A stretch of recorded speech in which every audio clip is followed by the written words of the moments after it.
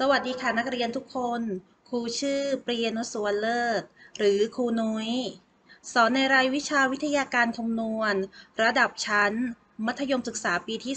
3 วันนี้เราจะมาเรียนกันในหัวข้อเรื่อง บอร์ดไมโครบิต และเรียนรู้การใช้งานเบื้องต้นค่ะ จุดประสงค์การเรียนรู้ ข้อที่ 1 นักเรียนมีทักษะและสามารถใช้ไมโครบิตได้อย่างถูกวิธี ข้อที่ 2 นักเรียนรู้จักส่วนประกอบ และสามารถเลือกใช้โปรแกรมในการเขียนคำสั่ง ควบคุมการทำงานของ micro:bit ได้ ข้อที่ 3 นักเรียนสามารถเข้าใจ และเขียนคำสั่งผ่านโปรแกรม micro:bit ได้บอร์ด micro:bit เป็นบอร์ดไมโครคอนโทรลเลอร์สำหรับการศึกษาจากโครงการของ BBC หรือบริษัทแพร่ภาพกระจายเสียงของอังกฤษ ที่ได้ร่วมมือกับ partner หลายบริษัทผลิตบอร์ดคอมพิวเตอร์ เพื่อสนับสนุนการศึกษาเรียนรู้ในยุคดิจิทัล แจกจ่ายให้แก่เด็กในประเทศอังกฤษ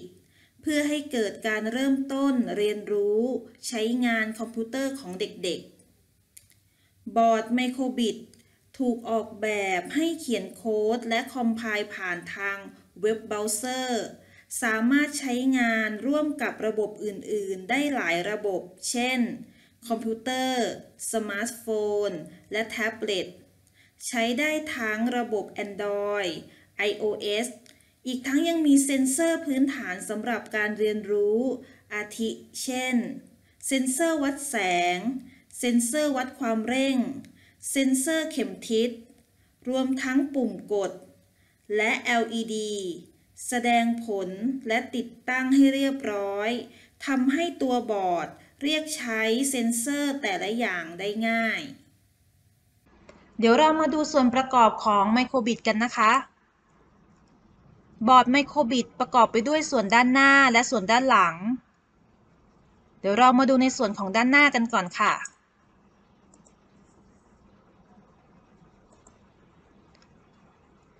ในส่วนของด้านหน้านะคะ ส่วนแรกคือสวิตช์ค่ะ จะประกอบด้วยปุ่ม Battle A และปุ่ม Battle B ทำงานโดยการเอาพุตเมื่อกดสวิตช์เพื่อสั่งให้บอร์ดทำงาน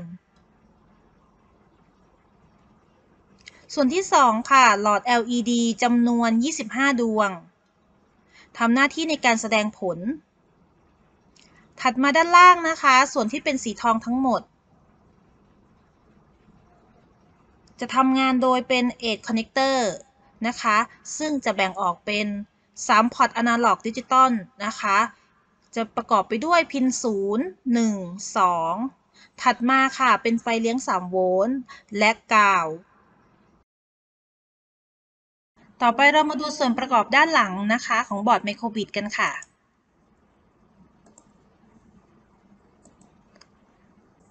ส่วนประกอบด้านหลังนะคะ จะประกอบไปด้วยสายอากาศบลูทูธ CPU 32 บิตนะคะ ความเร็วอยู่ที่ 16 เมกะเฮิรตซ์นะคะ พร้อมหน่วยความจำ และยังควบคุมการสื่อสารด้วยบลูทูธและคลื่นวิทยุ นอกจากนี้นะคะยังมี connector micro USB นะคะ สามารถเชื่อมต่อกับคอมพิวเตอร์หรือโน้ตบุ๊กนะคะ โดยผ่านสาย USB ทำหน้าที่ในการรับส่งข้อมูลด้วยคำสั่ง ถัดมาค่ะจะเป็นสวิตช์สำหรับรีเซ็ตนะคะ ใช้สำหรับรีเซ็ตเพื่อทำงานใหม่ ถัดมาข้างๆ ปุ่มรีเซ็ตนะคะ จะเป็นจุดต่อแบตเตอรี่ค่ะ โดยรองรับการใช้แรงดัน 3 โวลต์นะคะ ก็คือใช้ถ่านไฟฉายทั่วไปเนี่ยค่ะ 2 ก้อน โดย micro:bit เองนะคะ จะมีชุดรังถ่านมาให้ เราสามารถใส่ถ่าน 2 ก้อนนะคะ แล้วก็เสียบเชื่อมกับจุดต่อแบตเตอรี่ได้เลย ถัดมาด้านล่างนะคะ ก็จะเป็นตัวของโมดูลตรวจจับการเอียง และเข็มทิศนะคะ รวมไปถึงหน่วยวัดความเร่งด้วยนะคะ และด้านหลังก็ยังมีพอร์ตนะคะ จุดเชื่อมต่อใช้งานอิสระเพิ่มอีกนะคะ โดยการเชื่อมต่อเราสามารถใช้คีมปากจระเข้นะคะ ในการคีบนะคะ กับอุปกรณ์ภายนอกที่เราเชื่อมต่อ เพื่อสั่งให้เจ้าบอร์ด micro:bit เนี่ยทำงาน วิธีจับบอร์ด micro:bit ที่ถูกต้องนะคะ เนื่องจากเจ้าบอร์ด micro:bit เนี่ยเป็นอุปกรณ์อิเล็กทรอนิกส์ที่มีขนาดเล็กนะคะ ดังนั้น การที่เราจะรักษาอายุการใช้งานของมันให้นานขึ้นเนี่ย วิธีการจับบอร์ดก็ถือว่าสำคัญเหมือนกัน การจับบอร์ด micro:bit นะคะ เราควรจับที่ด้านข้างนะคะ ไม่ควรจับตรงกลางนะคะ หรือโดนอุปกรณ์อิเล็กทรอนิกส์ต่าง ๆ ที่อยู่ภายในนะคะ เพื่อป้องกันอุปกรณ์ชำรุดหรือเสียหายค่ะ การเขียนโปรแกรมบนบอร์ด Micro bit นะคะ สามารถใช้เครื่องมือได้หลากหลายเลยค่ะ แต่ในระดับชั้นมัธยมศึกษาปีที่ 3 นี้นะคะ เราจะใช้ตัวของ Make Code ในการเขียนนะคะ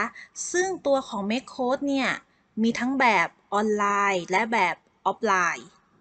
เดี๋ยวเรามาดูในส่วนของที่เป็นแบบออนไลน์นะคะ นักเรียนสามารถเข้าไปที่อินเทอร์เน็ตเบราว์เซอร์นะคะ แล้วพิมพ์ w w w m a k e c o d e microbit.org และในส่วนของแบบออฟไลน์นะคะ เรียนสามารถทำการดาวน์โหลดโปรแกรมแล้วติดตั้ง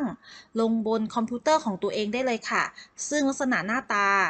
ของแบบออนไลน์และออฟไลน์ จะมีลักษณะเหมือนกันนะคะโดยโปรแกรมที่ใช้ในการ coding ลงบนบอร์ด Micro bit เนี่ยนะคะ เราสามารถติดตั้งได้หลายช่องทางเลยนะคะ ไม่จำเป็นต้องติดตั้งที่